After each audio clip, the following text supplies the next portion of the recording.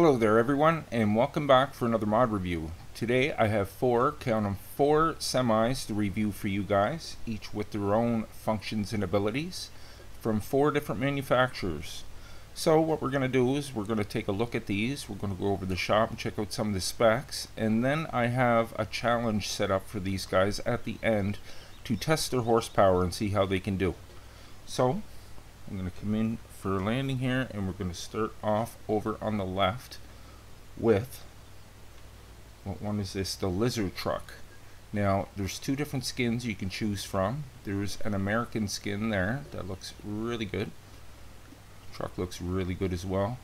And then there's just the uh, the original I guess. And you can switch you can choose from a hitch or not.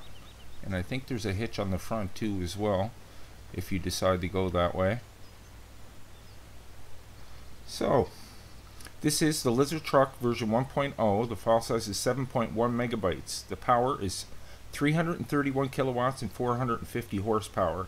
Now, there's three different engine sizes for this. There is a 450 horsepower edition, a 500, and a 600 horsepower. So the the uh, yeah, the 331 kilowatts and 450 horsepower. These are the specs for the smallest one, but we'll go over the shop and take a look at all that. So 258,000 for that, $520 a day maintenance fee, and max speed of 80 kilometers an hour. So we will go jump inside and test out a few things. Very nice looking mod, I must say. Okay, there is our hazards. There is our beacons. Go over to my keyboard and check out the lights. Look how nice the lighting system is on that, guys. Really, really sharp. Horn works just fine. Okay, let's jump inside. Yes, there's different camera angles on this too. I'm pretty sure this is. Yes, you got this camera angle here, which is kind of neat. Then you have one on the hood or on the bonnet. You have one in the back and then one right on the bumper. So that's pretty neat. But I wanted an interior view. So we're all prepared here with a gun and a gas mask in case anything goes down, you know. You need that stuff. And you got a laptop and a can of pop and a magazine and a little lunch pail. Uh, the gauges don't work, but check out the fan. the fan spins when you move. So that's kind of neat. I like that. So up in the left hand corner there's no other options I can see there except for that road train which I'm not really too sure what that is.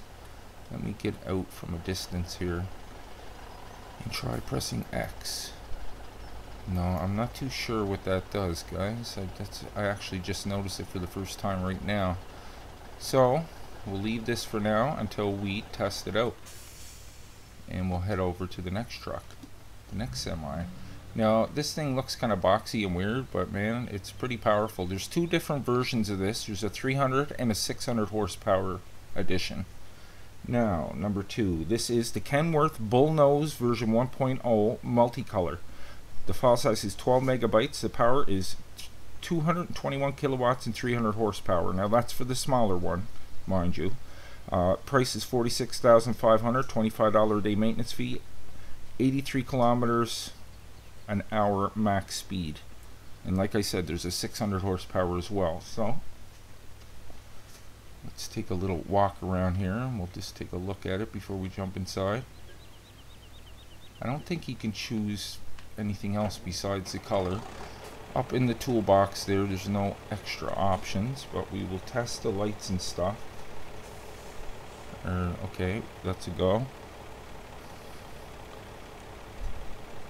Yeah, there's no beacons on this. Okay, our lights work just fine. Yeah, this thing's pretty powerful for the size of it. And the horn. Okay, everything seems to work just fine. Let's jump inside. The speedometer works, but you can't really read it. Kind of weird looking interior. Almost looks like a marble dashboard or something, or some kind of weird material. But it's okay looking on the inside, I guess. So let's jump back out Is there anything else I didn't mention about that? No, that's about it. So, let's jump out and move on to the next one. Now, this is a multicolor mod too, and I took the dark gray one, and it looks pretty good in the dark gray, I must say. That's probably my favorite of the four, but very nice looking truck. So, number three. This is the Peterbilt 579 multicolor. The file size is 19.54 megabytes. The power is 397 kilowatts and 540 horsepower. The price is 167,000 with a $520 day maintenance fee. Uh, 83 kilometer max speed, and I don't believe I think there's only one version of this, but we will check out the shop stuff in a minute. But very sharp looking truck. Semi. Let's jump inside. Test out a few things. The hazards are good. The beacons work just fine. They look pretty good. Okay, we'll try the lights. Nice lighting system. Check that out. Very, very nice. Okay, I'm impressed with that. Uh, the horn. Good to go. Let's jump inside, take a look. Nice looking interior. Very nice. Peterbilt. Nice little cab in the back there. Cool. Speedometer works. Alright. Okay. So that is our Peterbilt. 579.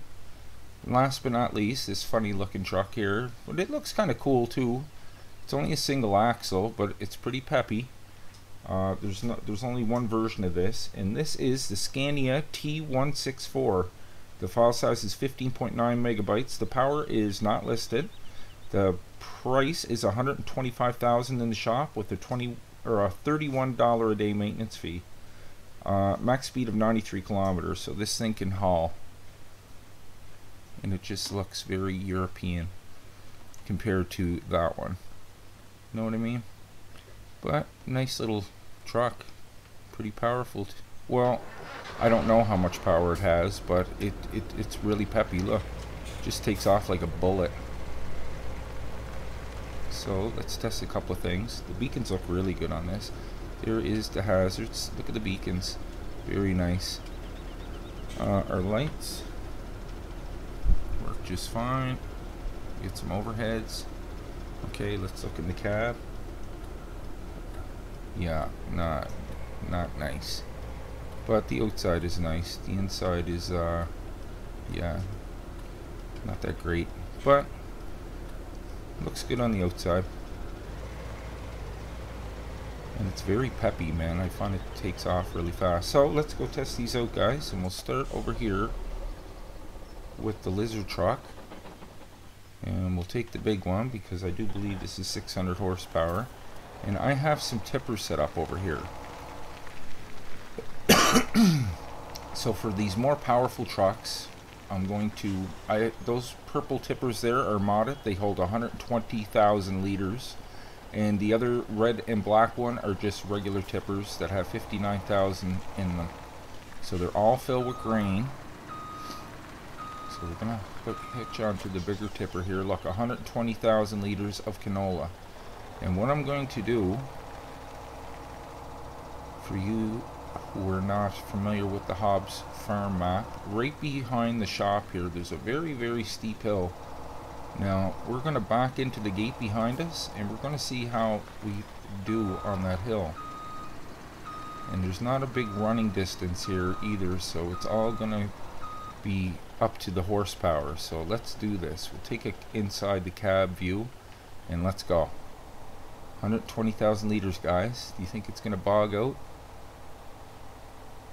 Come on, come on, come on, come on, come on, come on. Don't stop. Just don't stop. Here's the uh, bumper view there. Oh, it's, it's doing it. Slowly picking up some speed now. But that is a heavy haul.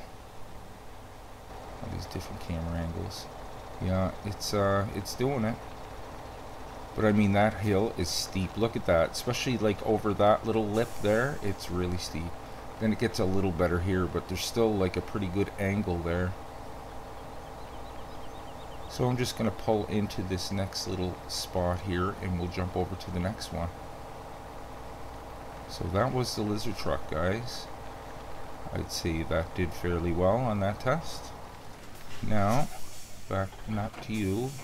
Okay, next up on the list is the Kenworth Bullnose. 600 horsepower, guys. So, let's see how this guy does. And what we'll have to do is bring this guy back down. This is a multi multicolored mod. It looks pretty good with this uh, tipper. All purple. So, we'll do the same thing. We'll set this guy up.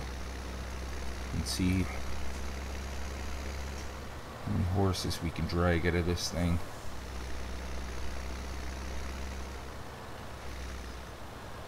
Alright, let's get straightened up.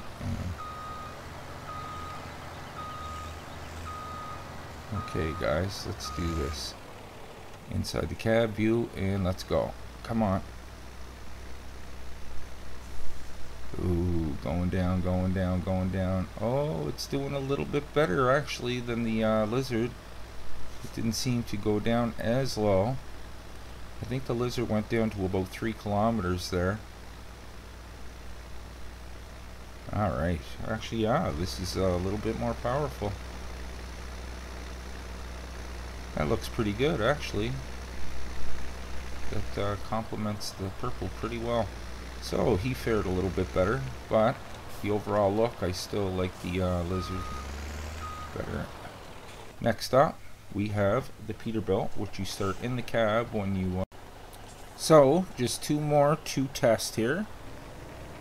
The old Peterbilt.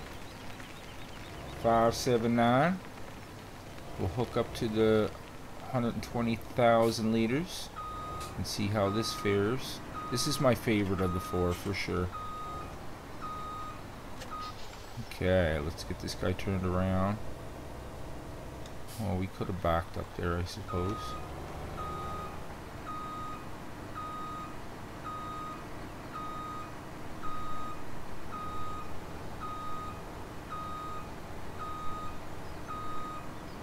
Now, I think this is going to do just about the same as the Lizard did. It seems to be driving and handling about the same, but who knows?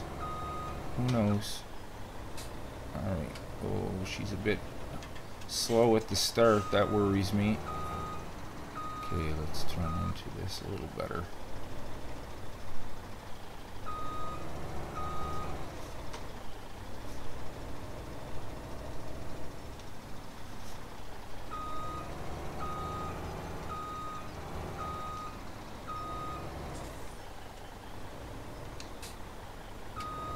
Okay guys, let's do this. Inside the cab view, let's go. Not a whole lot of room to build up some speed, but ooh, she's sinking, she's sinking. What's it gonna go down to? Oh, as long as it, is it gonna stop? No, that's almost the exact same as the lizard, guys. Let's go external here. Yeah, it's creeping, but it's doing it. It's slowly spilled it, uh, building up a little bit more speed. 540 horsepower, not bad. Yeah, it looks good in the dark gray. Like I said, that's a multicolor mod. Looks good with the beacons on And we'll just pull him up beside the other guy and we'll test the last one. So with the Scania, yeah, like I said, I am just going to do the 59,000 liter challenge because I know he's nowhere near 500 horsepower. Okay, so he passed the test. Now it's just up to you. So yeah, this guy's really, really peppy. And it looks a lot, it looks pretty different with the single axle. Okay. And the beacons look just cool on it. Just plain cool. Alright, let's get this guy set up. Now, he should be able to do this fairly easily. I don't want to try the 120,000. That seems like it would be a little too much. But, okay, we'll go right now. So I'm not a big fan of the interior of this, but the exterior looks great. Look at that. He's just flying up there with that without a problem at all. Look at that. Very nice. Alright. So they all passed the test. And there you have it guys. That was my quad semi review. I hope you guys enjoyed it. Please leave a like if you did. Uh, if you're new to the channel, please hit the subscribe button. I do new mod reviews every second day and Let's Plays every other day. So guys, until next time. Oh, by the way, the uh, info and the links will be down in the description. I almost forgot to say that this time. So guys, take care and I'll see you in the next one.